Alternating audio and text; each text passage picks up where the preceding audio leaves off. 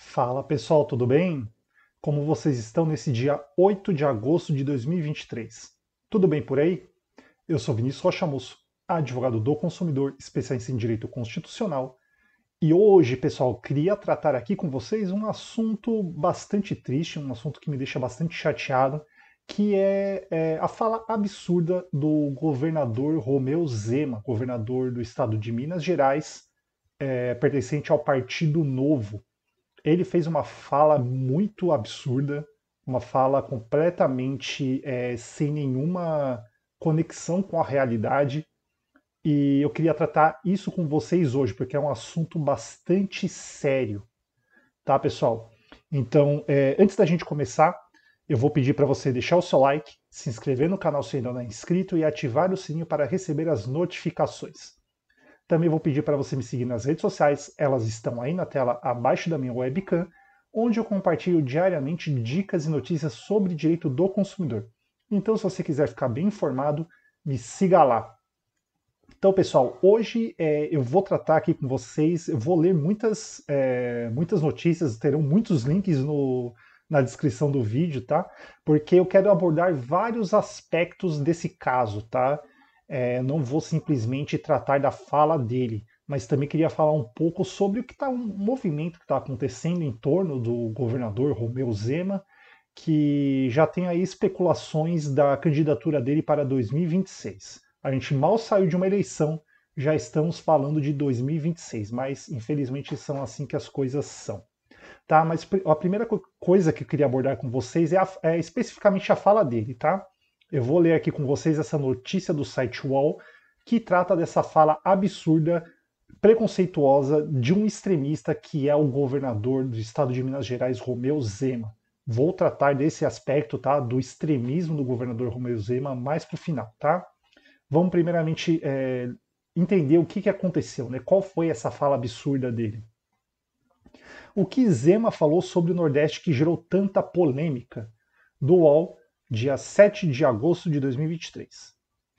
Uma fala do governador de Minas Gerais, Romeu Zema, Partido Novo, né, para, é, para surpresa de ninguém, defendendo o maior protagonismo econômico e, po e, político dos estados do Sul e do Sudeste em resposta aos do Nor Norte e Nordeste, causou polêmica no final de semana. As declarações dele sobre o COSUD Consórcio Sul-Sudeste ao jornal O Estado de São Paulo foram classificadas como preconceituosas por alguns políticos. O que Zema falou sobre o Nordeste, aspas. Já decidimos que além do protagonismo econômico que temos, porque representamos 70% da economia brasileira, nós queremos que é o que nunca tivemos, protagonismo político, Outras regiões do Brasil, com estados muito menores em termos de economia e população, se unem e conseguem votar e aprovar uma série de projetos em Brasília. E nós, que representamos 56% dos brasileiros, mas que sempre ficamos cada um por si, olhando só o seu quintal, perdemos. Bem, pessoal, protagonismo político é um absurdo. É, Romeu Zema fala isso porque é, você pode olhar aí no histórico do Brasil vários políticos se elegeram é, presidentes, é, políticos oriundos dos estados do Sul e do Sudeste, né? Então é, é um absurdo ele falar isso, falar que o, que o Sul e o Sudeste não têm protagonismo político. Ele está aqui batendo bastante na tecla do é, da, da, diversidade, é, da divisa de riquezas geradas. Né? O, Sul e o Sudeste, que são os, os, onde estão os estados mais industrializados, acabam contribuindo mais com tributos, né? E, a, e, só que essa riqueza acaba não ficando nesses estados. Mas é, é basicamente isso que ele está querendo dizer aqui. Mas a gente vai ver o porquê, é, o porquê disso, tá? Mais para frente a gente vai entender melhor. Continuando. Ficou claro nessa reforma tributária que já começamos a mostrar nosso peso. Eles queriam colocar um Conselho Federativo com um voto por Estado. Nós falamos, não senhor nós queremos proporcional à população, porque sete estados em 27 iríamos aprovar o quê? Nada. O Norte e Nordeste é que manda, mandariam ali. É, aí nós falamos que não. Pode ter o conselho, mas proporcional. Se temos 56% da população, nós queremos ter peso equivalente. Ele está falando que é, de um conselho que seria criado que teria um voto por estado, só que ele está defendendo que, como tem uma população maior no sul e no sudeste, 56% da população, a, desse, é, a divisão da participação desse conselho teria que ser proporcional à população. É isso que ele está falando. Continuando.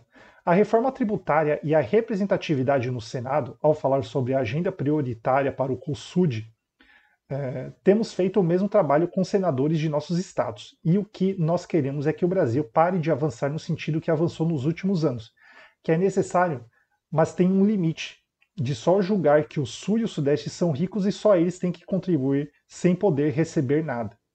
Está sendo está sendo criado, tá, tem um erro de português aqui, né? está sendo criado um fundo para o Nordeste, Centro-Oeste e Norte. Agora, e o Sul e o Sudeste não tem pobreza? Aqui todo mundo vive bem, ninguém tem desemprego, não tem comunidade? Tem sim.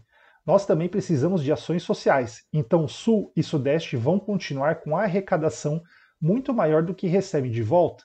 Isso não pode ser intensificado ano a ano, década a década, senão você vai cair naquela história do produtor rural que começa só a dar um tratamento bom para as vaquinhas que produzem pouco e deixa de lado as que estão produzindo muito. Então, essa última parte da fala dele gerou muita polêmica e é muito problemática por várias razões. Primeiro ponto: essa fala do, de Romeu Zema acabou por atiçar grupos separatistas, grupos extremistas que pregam a separação, a divisão do Brasil é, do Sul, Sudeste e a separação desse, dessas regiões com a Nordeste, Centro-Oeste e Norte. Vamos ler aqui. Murujá. Separatistas aplaudem fala, falas de Zema sobre frente Sul e Sudeste. Esse muro já é referente ao, ao que acontece nos Estados Unidos, que se prega muito a construção de um muro é, entre os Estados Unidos e o México, né, o que impediria a entrada de imigrantes mexicanos no, nos Estados Unidos. É referente a isso. Então circulou muito na, nas redes sociais um mapa que separaria né, o norte e o nordeste do restante do Brasil. Vamos ler aqui rapidinho. A criação de uma frente política em defesa do, protagonismo de estados do Sul e do Sudeste, recém-anunciada pelo governador de Minas Gerais, Romeu Zema, tem sido defendida por grupos que pregam uma separação definitiva entre Sul e Norte do Brasil. Em entrevista do, estado, entrevista do jornal Estado de São Paulo, no domingo, dia 6 de agosto, o governador mineiro anunciou o novo COSUD, Consórcio Sul e Sudeste, e comparou o país a um produtor rural que dá tratamento bom para as vaquinhas que produzem pouco e deixar de lado as que estão produzindo muito. As, as primeiras seriam estados do Norte e Nordeste, enquanto as últimas seriam estados do Sul e Sudeste. As falas que tiveram forte reação em Brasília também rendem debate intenso nas redes sociais. É, abre aspas, já passou da hora de pensarmos na possibilidade de independência dos estados do Sul e Sudeste. Chega de pagar a conta de estados que não querem nada e não, é, é, a não ser sugar até a última gota de sangue de quem trabalha e produz reagiu o perfil de um grupo separatista paulista no Facebook, junto a um nick para a entrevista do governador de Minas Gerais. A Constituição brasileira não permite a independência de estados da federação. Questionado pela reportagem sobre o apoio de movimentos separatistas às falas do Zema, o governador de Minas Gerais encaminhou o link para um tweet, tweet em que o governador afirma que a união do Sul e Sudeste jamais seria para diminuir outras regiões. Bem, então, essa fala repercutiu muito entre grupos extremistas e separatistas, o que por si só é um indício de que essa fala é muito problemática, tá? É, eu não acho que essa fala do, do governador Romeu Zema foi, é, foi sem querer, foi um deslize. Ele realmente está assinalando, está é, é, mandando um sinal para esses grupos extremistas, porque Romeu Zema quer disputar o espólio do bolsonarismo. Bolsonaro, né, a figura do Jair Bolsonaro está derretendo aí, né, por conta de grandes escândalos de corrupção, de tentativas de golpe. Então, é, Romeu Zema está tentando disputar esse eleitorado, né? Então, dos, um dos pontos que eu vou querer ressaltar nesse vídeo mais para o final é que o Romeu Zema é um extremista. Eu queria falar aquela palavra com F, faísmo. Mas é, eu acho que o YouTube não gosta muito dessa fala, então, para não prejudicar o, o, vídeo, eu vou usar a palavra extremista. Então, Romeu Zema é um extremista de direita que está disputando o espólio de Jair Bolsonaro. Então, ele está fazendo, é, mandando esses sinais para esses grupos, o que é uma coisa muito problemática. Tá? Então, é, Romeu Zema, utilizando como um bode expiatório né, para os problemas do país, é, prega uma aliança entre Sul e Sudeste, como se o Norte e o Nordeste não contribuíssem nada para o desenvolvimento do país, né, utilizando os, os povos do Norte e do Nordeste como um símbolo dos problemas do país, o que não é verdade. A gente tem aqui a notícia recente de que o Nordeste puxa o crescimento em 2023, mostra o estudo. Centro-Oeste vem em segundo lugar, com pouca diferença para a expansão da economia nordestina, indica levantamento da tendências. Vamos ler aqui um pouquinho, eu não vou ler a notícia inteira, porque esse vídeo eu já sei que vai ficar bastante longo, mas para não alongar ele mais, eu vou ler só um trechinho, tá? Trabalho recém-finalizado Trabalho recém-finalizado pela Tendências Consultoria mostra que o PIB da região central do país pode avançar 2,3 em 2023, enquanto a economia nordestina deve crescer 2,4. A estimativa para a média nacional é de 1,9. Segundo a consultoria, as regiões serão puxadas por agropecuária e indústria, com destaques para a retomada da produção de alumínio no Maranhão, parada desde 2015, além da boa evolução do turismo. O economista Lucas de Assis, da Tendências, afirma que o Centro-Oeste segue beneficiado por soja, cana, biocombustíveis e carnes. Então vocês podem ver que o, a região Nordeste e Norte tem uma estimativa de crescimento maior do que a média nacional, tá? Então, é, a região Nordeste e a Centro-Oeste estão puxando o crescimento do, do país neste ano. Segundo ponto que eu gostaria de ressaltar é que assim, como nós vivemos num país que tem que é organizado de uma forma federativa, há sim uma contribuição de todos os estados com é, com é, uma contribuição né, de, de renda né, de, por meio de tributos e depois há uma divisão de tributos. Uma divisão desses recursos que foram arrecadados, é de, esses recursos são divididos por todo o país de acordo com o planejamento e suas necessidades. E o estado de Minas Gerais recebe sim muitos benefícios desse, desse bolo, né, desse bolo de arrecadação que é feito. Então vamos, vamos ler aqui um pouquinho essa, essa matéria do UOL, com 209 cidades no semiárido, Minas Gerais também tem benefícios criticados por Zema. Na contramão do que foi defendido pelo governador Romeu Zema, o estado de Minas Gerais tem 209 municípios que fazem parte do semiárido brasileiro e que, por isso, têm acesso a uma série de benefícios na obtenção de recursos e financiamentos com juros mais baixos. Eu não vou ler a matéria inteira, tá? O link estará na descrição. Só que Minas está entre os estados com vantagens, já que a região no norte do estado sofre também com as secas e recebe tratamento diferenciado da União. Incluídos no semiárido, municípios e, agricultor e agricultores têm acesso a uma série de políticas públicas, incluindo acesso ao FNE, Fundo Constitucional de Financiamento do Nordeste. Para este ano, por exemplo, o orçamento previsto é de 34,6 bilhões, por lei, o fundo destina pelo menos metade dos recursos para o semiárido. Há ainda vantagens em outros programas, entre eles o FDNE, Fundo de Desenvolvimento do Nordeste, que é administrado pela SUDENE, Superintendência do Desenvolvimento do Nordeste, e que é maior em áreas consideradas prioritárias como o semiárido. Já outros programas são direcionados mais efetivamente para cidades do semiárido, como o de construção de cisternas e o PRONAF, Programa Nacional de Fortalecimento da Agricultura Familiar, é, semiárido, que financia projetos de infraestrutura hídrica e implementação de infraestrutura. O abastecimento por meio de carro-pipa às cidades em emergência pela seca também é feito às cidades do semiárido. Minas, por sinal, tem 130 municípios que decretaram emergência pela estiagem e tiveram acesso a políticas específicas.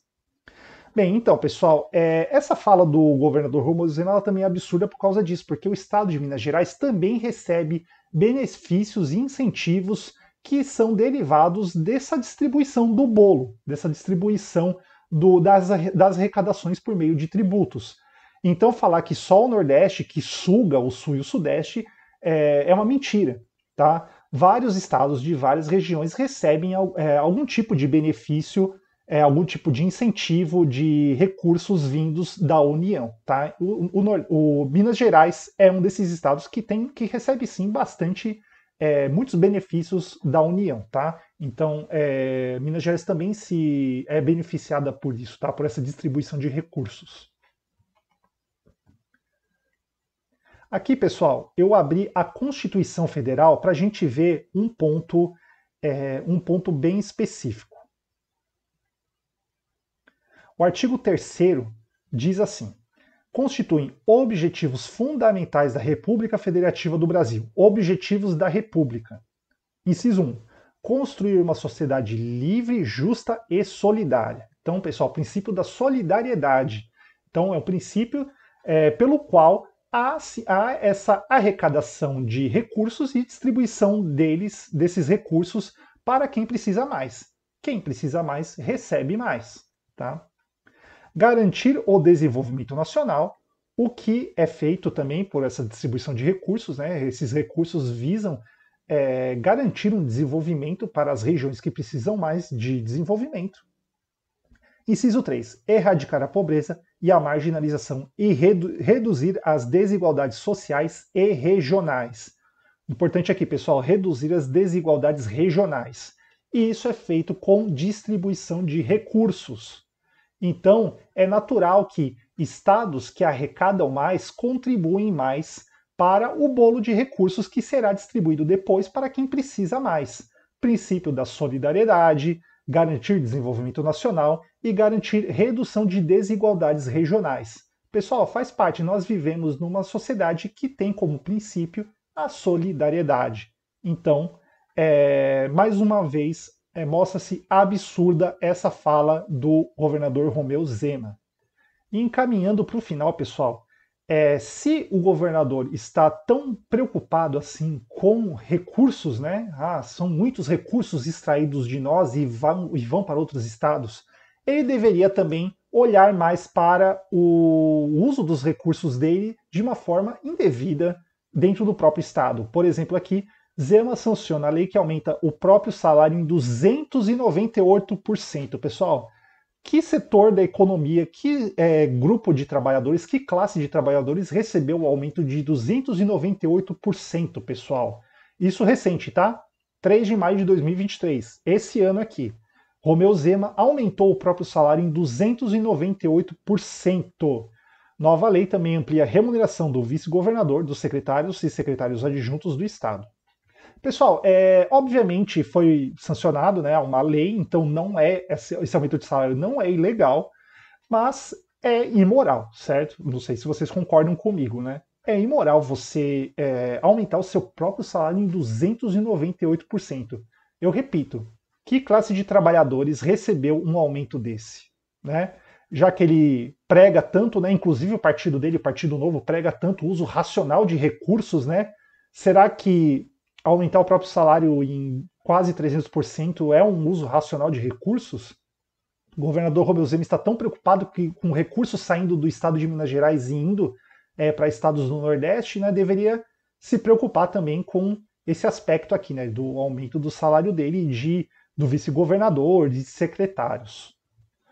Outra coisa, pessoal, também aqui no. É, isso é mais recente, em junho de 2023, tá? Então, uma notícia bem recente. Romeu Zema vai gastar 41, 41 milhões de reais do governo de Minas em estrada que leva ao sítio da família dele. Rancho Zema fica em Rifaína, no lado paulista da divisa, a cerca de 100 quilômetros de Araxá, cidade do governador. O link também está na descrição para quem quiser é, ler a matéria inteira. Então, é, coincidência só que ele vai gastar justo na estrada que leva para o, o, o sítio da família dele? Né? Então, será que esses recursos né, não seriam utilizados de uma forma melhor em outro lugar? Tá? Fica o questionamento aí. E encaminhando para o final, pessoal, um dos, um dos, pontos que eu quero ressaltar aqui nesse vídeo é que Romeu Zema é um extremista de direita. Eu gostaria de falar outra palavra, aquela palavra com F, termina com ismo, né? Ou ista, né? Mas é, eu acho que o YouTube não vai gostar muito desse termo no vídeo, tá? Então, um extremista, um extremista de direita. É, como eu falei no começo do vídeo, Romeu Zema está disputando o espólio de Jair Bolsonaro. Ele quer é, despontar aí como a liderança da extrema direita. E isso é muito preocupante, né? Nós vivemos uma sociedade que está assim extremizada para a direita a gente viu aí nos últimos quatro anos de governo Jair Bolsonaro já com a derrocada do, da figura né, de Jair Bolsonaro, sobra aí o espólio de, dessa parcela da população extremizada e Romeu Zema quer é, mostrar aí, despontar como um líder né, para disputar as eleições de 2026. Recentemente ele compartilhou uma frase de Mussolini, né, líder do, né, a palavra aqui que eu não, não quero falar, após Bolsonaro ficar inelegível. Vamos ler aqui rapidinho essa matéria. A assessoria do governador mineiro lamentou repercussão negativa. Por que, será, por que será né, que repercutiu negativamente? Não consigo imaginar o porquê. E disse que o político fez apenas um alerta que não concordaria com os ideais do ditador citado. Vamos abrir aqui a, a aspas. Qual foi a fala aqui, né, que ele citando o Mussolini? Fomos os primeiros a afirmar que, quanto mais complexa se torna a civilização, mais se deve restringir a liberdade do indivíduo. Benito Mussolini. Escreveu o político mineiro em um story no Instagram. A postagem é temporária e deve sair do ar após 24 horas. Zema tenta, com a publicação, se aproximar dos eleitores do ex-capitão, já que comumente é apontado como um dos possíveis herdeiros dos votos da extrema-direita, com Bolsonaro fora da disputa. Bem, pessoal, quem tenta disputar uma parte extremista, extremista de direita do eleitorado é o quê? É um extremista, certo? Ele confirma que ele carimba o, na testa dele o, o extremismo dele citando Benito Mussolini. Quem em sã consciência vai citar Benito Mussolini? Se você não é um extremista de direita, por que, que você vai citar Benito Mussolini, pessoal? Assim como ele pregou uma pregou uma oposição entre Sul e Sudeste com os estados do Norte e do Nordeste, é, essa fala também não foi, é, não foi um deslize.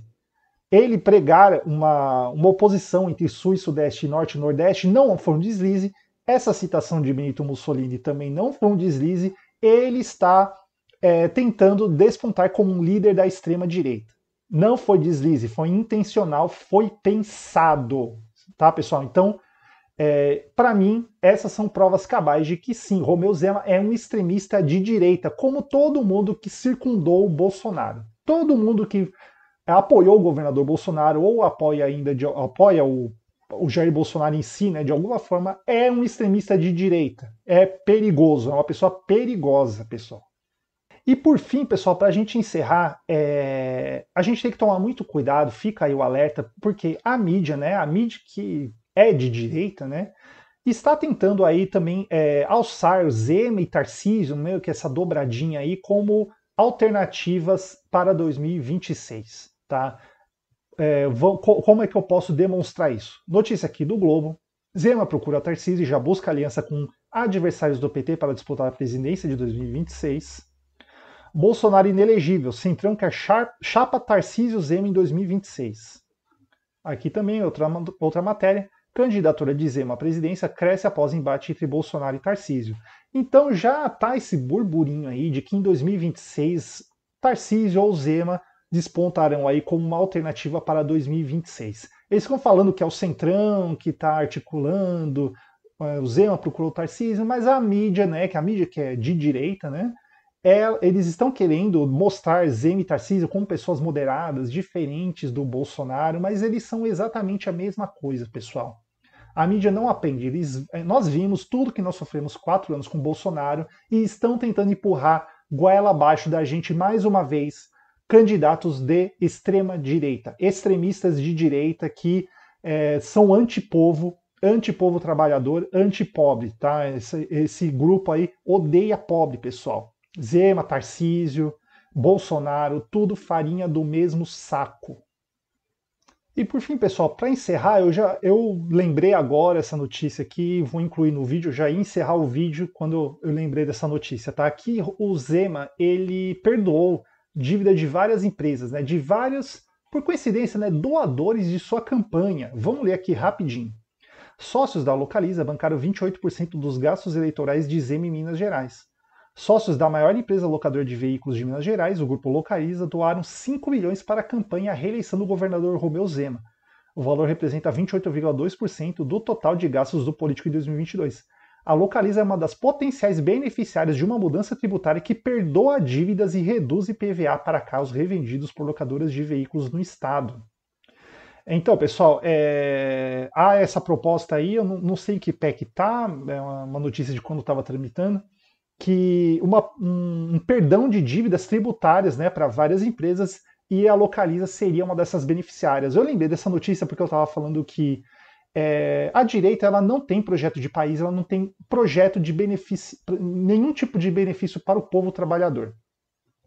Esse, toda a direita, tá, pessoal? Toda a direita, não estou nem só falando da extrema-direita, toda a direita só tem projetos para beneficiar a burguesia, beneficiar proprietários. Não há proposta de país, não há proposta para o povo trabalhador. Esse aqui é um exemplo claro disso, tá? É tudo para beneficiar já proprietários endinheirados, nada para o povo trabalhador. A regra da direita é essa, tá, pessoal? Então, bem, é, é assim que eu vou encerrar esse vídeo que já está muito longo, tá, pessoal?